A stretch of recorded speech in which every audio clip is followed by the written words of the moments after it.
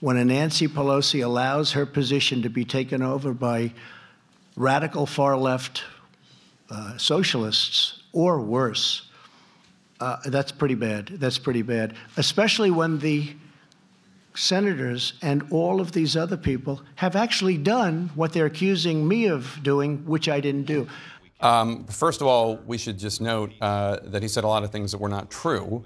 Uh, and there is a big difference between senators saying, as you were talking about, we will withhold aid uh, unless your country starts cracking down on corruption, versus we will withhold aid unless your country starts investigating these political opponents of mine. Completely. And again, having a, a domestic political issue uh, entangled into any foreign affairs discussion is a never a good idea and in some cases could rise to the level of well all the kerfuffle we see here today.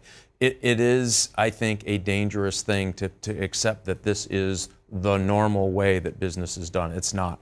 Yes there's lots of if you don't change you won't get missile systems. If you buy the sa-400s from iran we'll cut your aid that happens every day in good diplomacy. But not this is not this. Go after my opponent. And it's important to note. I mean, in this specific accusation he's making against Biden, uh, you know, it was the entire global community, the EU, the IMF, and the United States, a process that was worked through the interagency process.